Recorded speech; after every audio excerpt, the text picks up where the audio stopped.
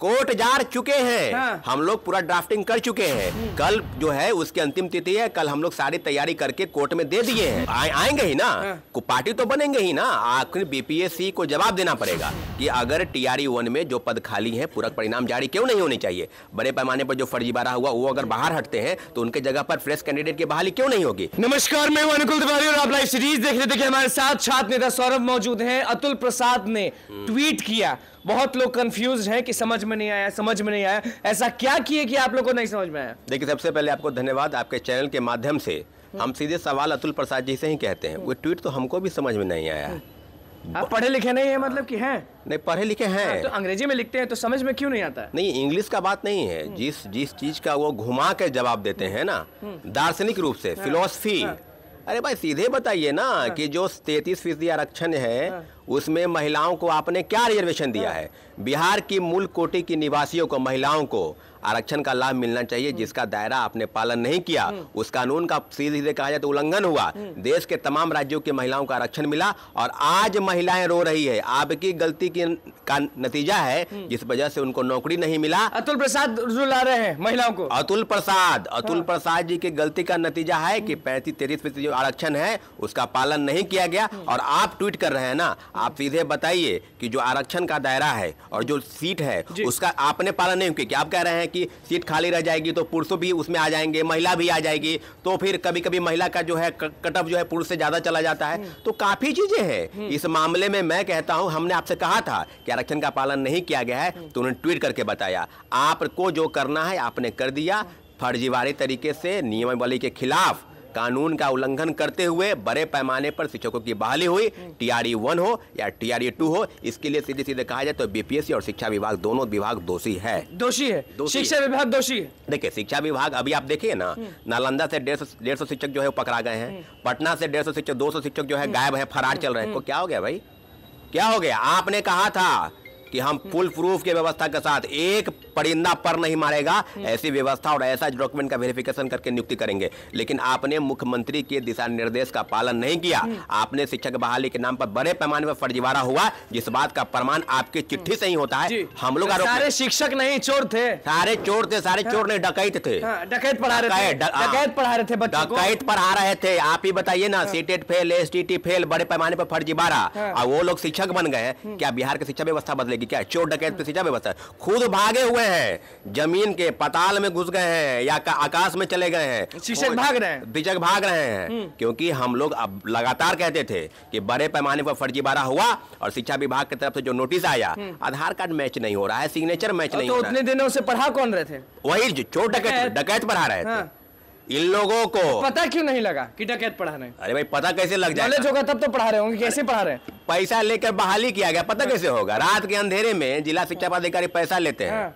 और नौकरी फर्जीवाड़े तरीके से सीटेट पे एस टी पे इन लोगों को प्रमाण पत्र दिए। आप ही के अनुसार ना आपने डॉक्यूमेंट का वेरिफिकेशन सही तरीके से नहीं कराया। इसी का नतीजा है कि बड़े पैमाने पर फर्जीवाड़ा हुआ बहाल हुआ और जब आप कानून का डंडा दिखा रहे हैं तो भागे भागे फिर रहे नहीं आएँगे वो। हाँ। और उनके जगह पर जो सीटें खाली होगी इसका जवाब कौन देगा? आप दे पाइएगा क्या?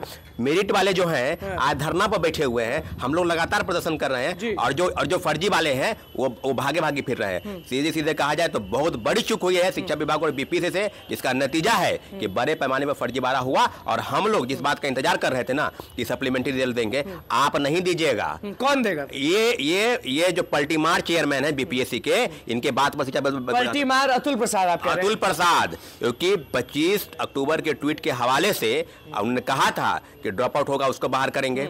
मल्टीपल रिज़ल्ट होगा उसको बाहर करेंगे। तो फिर शिक्षा विभाग से जो सूची गई सत्ताईस के आसपास उसमें से मात्र सैंतालीस उसमें से मात्र सत्ताईस रिज़ल्ट आपने दिया सत्ताईस सौ तो आप बताइए ना भाई कि आपकी बात पर कोई भरोसा करता है क्या? कोई नहीं। आप तो कोर्ट जा रहे थे। कोर्ट जा चुके हैं। हाँ। हम लोग पूरा ड्राफ्टिंग कर चुके हैं। कल जो है उसकी अंतिम तिथि है। कल हम लोग सारी तैयारी करके कोर्ट में दे दिए हैं। अब मुझे लगता है कि एक से दो दिन में वो फाइलिंग की पूरा प्रक्रिया पूरी हो जाएगी। सप्लीमेंट्री रिज़ल्ट टीआरई वन में किसी भी हाल में हमको लेना है क्योंकि तेईस हज़ार से ज़्यादा पद रिक्त है। आप ही ने कहा है। कि जो जो पद रिक्त है उसको तीसरे फ़ेज़ की बहाली में जोड़ेंगे। तो क्लियर हो गया मामला कि आप जो घुमा फिरा के इधर उधर की बात करेंगे अब सीधे से टू द पॉइंट आइए बिहार सरकार को बीपीएससी को पार्टी बनाना होगा कोर्ट में जवाब देना होगा कि आपने फर्जीवाड़ा क्यों किया? सरकार और अतुल प्रसाद को आप बुलाएँगे कोर्ट में? बिल्कुल को आए, आएँगे ही ना। हाँ। को पार्टी तो बनेंगे ही ना। आखिर बीपीएससी को जवाब देना पड़ेगा कि अगर टीआरई वन में जो पद खाली है पूरक परिणाम जारी क्यों नहीं होने चाहिए? बड़े पैमाने पर जो फर्जीवाड़ा हुआ वो अगर बाहर हटते हैं तो उनके जगह पर फ्रेश कैंडिडेट की बहाली क्यों नहीं होगी? तो ये सारे मामलों को लेकर संज्ञान नहीं ले रहे हैं बस उलट पुलट के बयान शिक्षक भाग रहे हैं उनके सीट पर कौन बैठेंगे?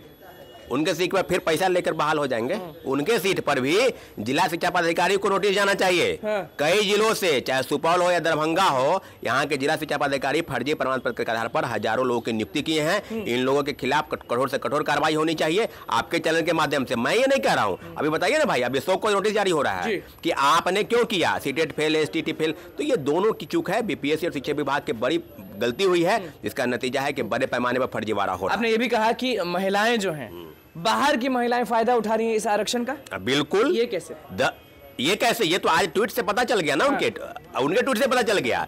कि आरक्षण का जो दायरा है पुरुष से ज़्यादा महिलाओं से ज़्यादा अगर पुरुष का आ जाता है तो उसमें पुरुष भी आ जाएगा। तैतीस फ़ीसदी आरक्षण इस बिहार प्रदेश के महिलाओं के मूल कोटि के निवासियों को होनी चाहिए। लेकिन आपने सौ में तैतीस जो लोग हैं दूसरे प्रदेश की महिला खासकर उत्तर प्रदेश और झारखंड की महिलाएँ यहाँ पर शिक्षक बन गई। आप आंकड़ा उलट के देखिएगा विभिन्न जिलों में जाइए। सौ अगर शिक्षक को खड़ा करिएगा उसमें पैंतीस दूसरे प्रदेश की महिला आपको मिल जाएगी सौ हंड्रेड परसेंट गारंटी के साथ। तो इस बात का बताइए ना भाई आप तो आंकड़ा बता ट्वीट से नहीं चलेगा सर। ट्वीट से नहीं चलेगा। प्रेस को बताइए सीधे सीधे और डाटा बताइए कि विभिन्न जिलों में जो सूची भेजी गई है महिलाओं का आरक्षण सीट को उसमें आपने कितना पालन किया है? इन सारे मामलों को लेकर आरक्षण के मामले को लेकर भी और भाषा आर्ता के मामले को लेकर भी टीआरई टू में कोर्ट केस की तैयारी चल रही है उसकी भी तैयारी चल रही है। वो भी मुझे लगता है कि एक सप्ताह के अंदर उसकी भी फाइलिंग हो जाएगी। तो आप बचिएगा नहीं आपको जो लगता है ना कि हमको जो मन करेगा हम आई एम द बॉस तो आप बीपीएससी के चेयरमैन हैं। शिक्षक बहाली में मुख्यमंत्री जी आपको नहीं बोले थे कि आप फर्जीवाड़े तरीके से लोगों को बहाल कर दीजिए। और के के पाठक और इन दोनों की लड़ाई का नतीजा है कि बड़े पैमाने पर फर्जीवाड़ा हुआ। इसी का नतीजा है टीआरई टू में हम लोग कहे थे ना कि फर्जीवाड़ा हुआ है आज आज सिद्ध हो गया। फर्जीवाड़ा हुआ फर्जीवाड़ा 2.0 हुआ में भी। 2.0 में फर्जीवाड़ा हुआ 2 पॉइंट में थोड़ा कम हुआ क्योंकि हम लोग कहते थे कि वन कैंडिडेट को वन रिज़ल्ट इसलिए इस बात का पालन हुआ। अगर सप्लीमेंट्री कब दिया जाएगा? क्योंकि लोग इंतज़ार कर रहे हैं शिक्षक अभ्यर्थी इंतज़ार कर रहे हैं लेकिन कुछ अता पता नहीं। कुछ अता पता नहीं है लेकिन चौदह हज़ार जो सीटें भेजी गई है चौदह हज़ार छः सौ बयालीस इसके मामले में भी मुझे लगता है कि उसमें भी धोखा होगा क्योंकि आपकी बात पर पहले भी भरोसा नहीं था आज भी भरोसा नहीं है। चौदह हज़ार का चौदह हज़ार आपको देना पड़ेगा क्योंकि आपने कहा है कि जो रिक्त सूची भेजी गई है हम सभी पदों पर पूरा परिणाम जारी करेंगे। महिलाओं को धोखा दे रहे हैं? शिक्षा विभाग आयोग सबको महिला को हो पुरुष को हो सारे कैटेगरी के लोग शिक्षक अभ्यर्थियों को आपने टीआरई वन में धोखा दिया टीआरई टू में धोखा दिया। करेंगे? देखिए टीआरई टू की ज़ाहिर से बात है जो पूरक परिणाम जारी होने चाहिए चौदह हज़ार सीट अगर भेजी गई है अभी पहली सूची भेजी गई है सारे पद पर पूरक परिणाम अगर जारी नहीं होते हैं तो भाषा के अर्था को लेकर पूरक परिणाम जारी को लेकर एक सप्ताह के अंदर फिर शिक्षक अभ्यर्थी कोर्ट जाएँगे लेकिन प्रथम पेज की बहाली में हम लोगों ने कोर्ट में याचिका दायर कर दी है और सारे मामलों को लेकर। सबको कोर्ट पहुँचना पड़ेगा। हाँ कोर्ट क्योंकि कोई उपाय नहीं ना है आप सुनना नहीं चाहते हैं धारा 144 लागू है जो लोग अगर एप्लीकेशन डालते हैं उनके खिलाफ भी आप कार्रवाई करते हैं उनको नोटिस देते हैं दो साल बैन किसी को पाँच साल बैन तो इस तरह की चीज़ें मुझे लगता है कि पूरे देश में पहला आयोग है जो एप्लीकेशन देने पर कार्रवाई करे। अरे आपको हिम्मत है कार्रवाई कीजिए ना जो सीटेड फीटेड फेल और स्टेट वाले को सर्टिफिकेट दिया आपको नियुक्ति प्रमाण पत्र दिया। आज तेरह तारीख को आप लोग जाइएगा वहाँ देखिएगा फर्जी वाला बहुत तरीके से आया होगा ज्वाइन करने। उसको भी आप हम लोग ध्यान से चलिए देखिए हमारे साथ छात्र सौरभ मौजूद है हमेशा आवाज़ उठाते हैं और आज भी आवाज़ उठाए हैं। जो शिक्षक भाग रहे हैं उनकी सीटों पर कौन बैठेगा? अतुल प्रसाद पर क्यों गरमाए हैं? और क्यों कहने लगे कि धोखा दे दिए महिलाओं को धोखा दे दिए सबको? और आगे क्या होगा वो आपने सुन लिया। अब देखना होगा कि महिलाओं का आरक्षण जो है उस पर क्या होता है और बवाल कितना बाकी है? तो बस लाइव सीरीज़ के साथ मैंने चैनल को सब्सक्राइब करें तो इसके लिए धन्यवाद।